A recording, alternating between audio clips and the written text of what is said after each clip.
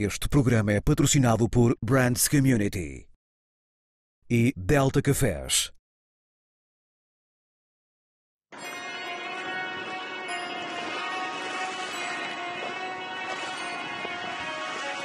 No mercado cada vez mais competitivo, as empresas que conseguirem atrair e reter os melhores profissionais são aquelas que têm seguramente maiores perspectivas de futuro.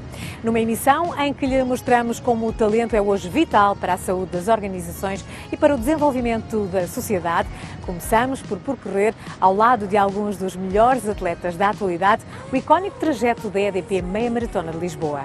Esta semana tudo começa com a superação.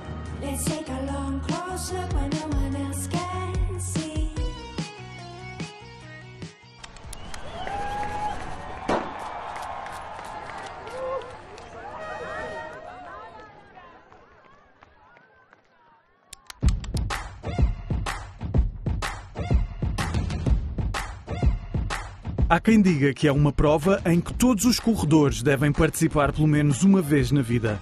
Há mais de 30 anos que este percurso com partida na Ponte 25 de Abril e chegada ao Mosteiro dos Jerónimos atrai milhares de atletas de todo o mundo. Em 2022, a pulsação da EDP Meia Maratona de Lisboa voltou a aumentar, já que depois de dois anos de pandemia representou o regresso em pleno aos grandes eventos desportivos ao ar livre. Passámos dois anos relativamente bem. Eh, Realmente a marca das provas virtuais, que fomos os únicos que fizemos provas virtuais com tempos corretos dos, atletas, portanto fomos mantendo a alma e a chama da corrida, cada um corria por si, mas, mas sabíamos os tempos que faziam, portanto com uma boa plataforma, tudo bem montado. Esse regresso está a ser prejudicado pela- pelo problema que está na Ucrânia. O que quero dizer com isto é que eh, tivemos uma baixa grande dos estrangeiros que estavam, estavam 8.500 estrangeiros inscritos e não levantaram 8.500 as inscrições, portanto, isto também tem a ver não com o tempo que está ótimo. Lisboa é uma cidade que está na moda, continua a estar na moda, cada vez mais na moda em termos de segurança até, e portanto estou francamente contente porque é o regresso à vida normal. Um evento desejado não só pelos atletas que participaram, ao todo foram mais de 28 mil, mas também pelos patrocinadores. Esta 31ª edição ficou marcada pelo crescimento do número de marcas que aproveitaram este momento especial para reforçar os laços com o público através da promoção de valores de saúde e bem-estar.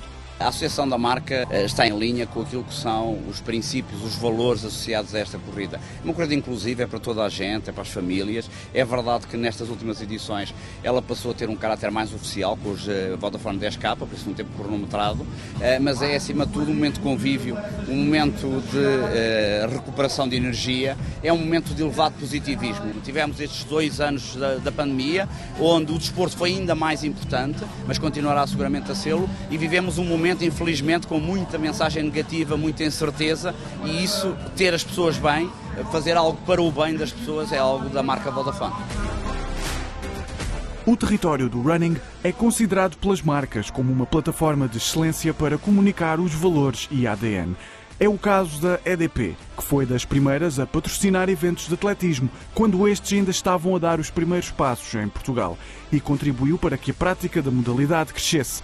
A Associação Histórica à Meia Maratona de Lisboa, com mais de 25 anos, permite à elétrica subir hoje ao pódio da notoriedade. Eu posso dizer que a nível das corridas, os nossos estudos comprovam que a EDP é a primeira marca a nível nacional associada às corridas e às maratonas, indubitavelmente. Os três valores da marca são a sustentabilidade, a inovação e a proximidade, ou seja, a humanização. E acreditamos que é desta forma, proporcionando esses momentos aos nossos clientes, que nós nos aproximamos deles ao mesmo tempo que promovemos, enfim, o valor central de sustentabilidade, tendo em conta a nossa, enfim, preocupação, a nossa posição de liderança na transição energética e, por último, eh, fazendo de forma cada vez mais digital, neste caso através da app, potenciando o terceiro valor, que é o da inovação.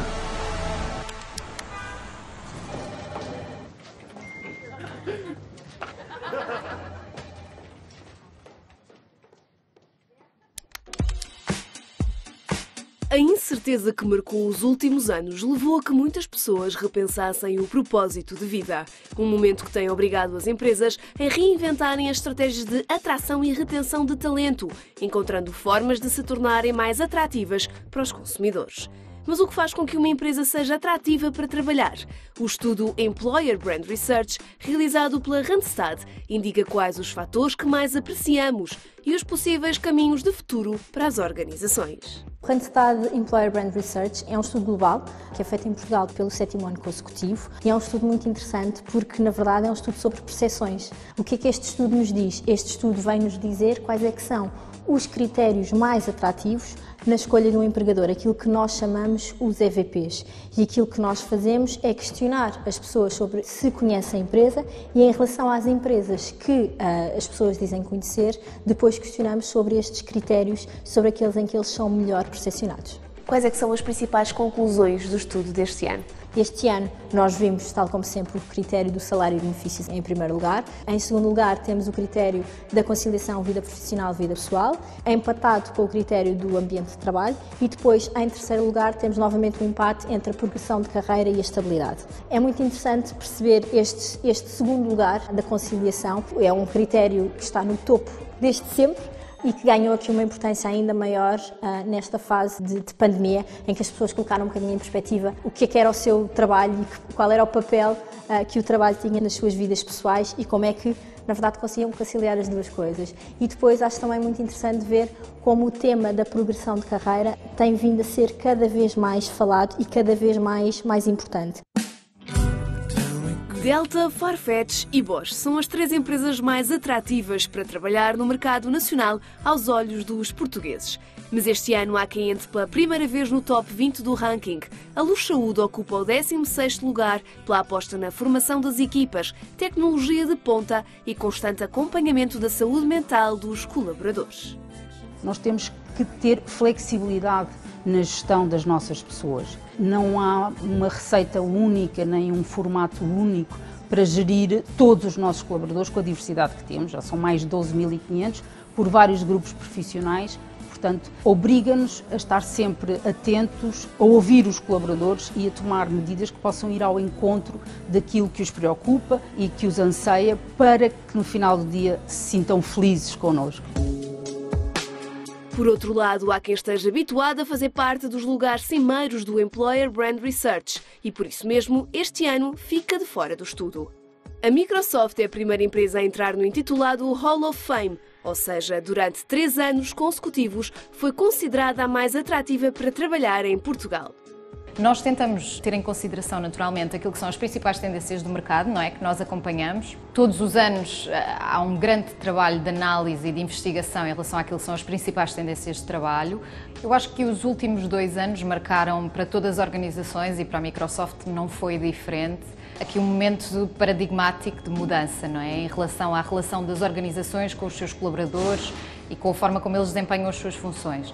O facto de darmos flexibilidade é uma das áreas que para nós são primordiais, porque ah, confiamos nos colaboradores, ah, acreditamos que eles serão sempre a sua melhor versão, quão, quão mais confortáveis estiverem com, com o modelo de trabalho que praticam. Depois de assistirmos à The Great Resignation, tendência global marcada pela demissão em massa de forma voluntária dos atuais empregos, há quem já fale na The Great Retention, ou seja, a capacidade das empresas escutarem de forma ativa os colaboradores para reter o talento dentro de portas. As empresas estão cada vez mais preocupadas com as suas estratégias de employer brand, porque elas sabem que é muito importante eu perceber qual é a minha proposta de valor para conseguir ah, chegar às pessoas certas. E, portanto, as empresas têm muito que promover este tema da conciliação vida pessoal e vida profissional. E depois o tema também do desenvolvimento, não é? O desenvolvimento de, de competências. E isto não é uma coisa que se desenvolve de um dia para o outro, não é? Que se constrói de um dia para o outro. É uma relação de confiança que eu vou também estabelecendo com os meus colaboradores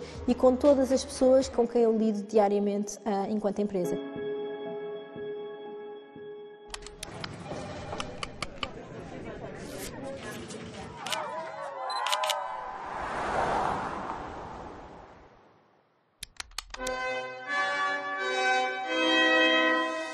Ano era o de 1998. Portugal organizava um dos maiores eventos realizados no país, a Exposição Mundial de Lisboa. Batiam-se recordes na Ponte Vasco da Gama. Foi uma época dinâmica para a economia nacional e o momento em que João Diogo se aventurou no programa de trainees Generation Galp. O Generation Galp surge como uma, uma etapa nova.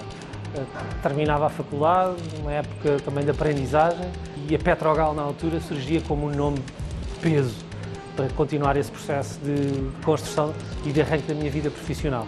A Petrogal lançou um programa que de facto teve algum impacto junto das faculdades e foi por aí que eu, que eu conheci este programa. Atraiu-me pela própria estrutura que tinha, pela própria seriedade com que abraçavam uh, quem tinha terminado o curso e hoje olho para trás com, com uma história que, que me deixa imenso prazer e imenso gosto fazer parte desta história na empresa. Passaram-se quase 25 anos. Assumiu diferentes cargos e hoje é também o administrador delegado da Galp Espanha. Assistiu a muitos momentos marcantes na vida da empresa. Um exemplo e um percurso que o levou a dar as boas-vindas aos 54 novos trainees da edição deste ano da Generation Galp. São trainees das mais variadas áreas, nos mais variados backgrounds. Nós estamos à procura de pessoas para todas as áreas dentro da Galp, IT, marketing, comunicação, recursos humanos, digital, a área de vendas, que, não é, que é a área comercial. E aquilo que procuramos acima de tudo é esta diversidade e este é o grande mote do programa. É um programa que é inclusivo, que é um programa que é diversificado, nós procuramos diferentes perfis. Este ano entram 54 trainees, temos neste, neste número de 54 trainees, temos 52 mulheres e, e 48 homens, em termos de percentagem, e estamos aqui a falar uh, em mais de 34 direções, portanto espalhados por toda a Galp. O desafio é claro, prepara-te para continuar a ser quem és. A assinatura dava as boas-vindas aos trainees que integraram diferentes áreas da Galp em Portugal, Espanha e Brasil. Com uma taxa de retenção de 70% do programa Generation Galp e numa altura em que a empresa aposta na transição energética, estes novos talentos podem ajudar a trilhar o caminho de futuro, razão que levou a Galp a apostar numa campanha para dar mais destaque ao projeto. Nós procuramos estar eh, nos canais onde estas pessoas estão, são, são gerações muito digitais e, portanto, obviamente que o canal digital, nomeadamente as redes sociais, nos nossos sites, foi uma presença grande, mas sentimos que é preciso mais, é preciso haver um, um reforço na presença e, portanto, o tema das universidades e das escolas para as pessoas sentirem que a Galp está próxima deles. Portanto, dentro dos vários contextos, do dress code, da sua personalidade, das causas, da forma de trabalho, Uh, darmos um, um, uma, uma, tónica muito própria, portanto, com uma comunicação muito própria, muito próxima destas pessoas, completamente diferente daquilo que comunicamos, até porque o target é muito específico, muitas pessoas, também, obviamente, os influenciadores que os rodeiam, nomeadamente a família, pudessem perceber que aqui há um espaço para serem quem são e que possam ser quem são. Agora, os novos 54 trainees têm dois anos para continuar a ajudar a construir o futuro da Galp. A imagem da empresa está a mudar também um pouco, o posicionamento da, da, marca Galp, que já é uma marca que nós conhecemos como os portugueses, não é? É uma empresa que tem muita presença a nível nacional, mas que está a procurar posicionar-se de outra maneira no mercado e a regenerar o portfólio. E, portanto, eu diria que para a minha geração uh, é muito importante termos um impacto no futuro, na sustentabilidade do nosso futuro e das gerações que aí vêm e podemos trabalhar por uma causa maior.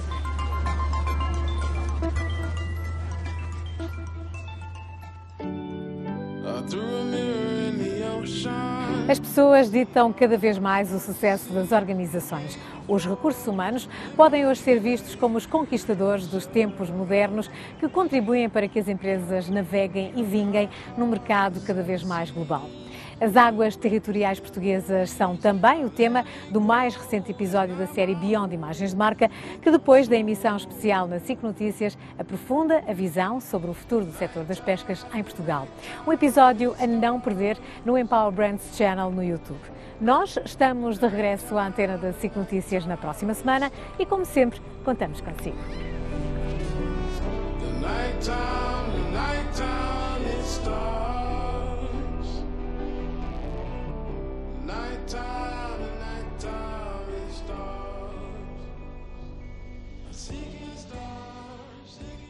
Este programa é patrocinado por Brands Community e Delta Cafés.